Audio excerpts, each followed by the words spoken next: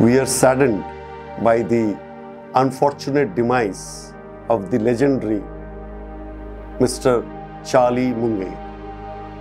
It was just a month that he could have completed 100 years of his youthful life to give this world a beautiful investing environment.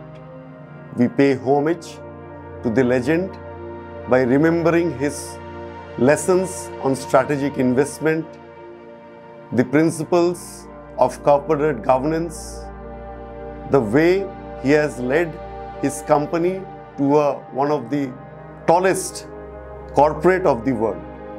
There is a void in the financial world because we will miss him to learn more about the, his successes and more of the failures by which one could have made oneself much more sharper in the tools of investments. He has left an enduring legacy for the young investors to go to the top and many Indians will follow him in the future days to come.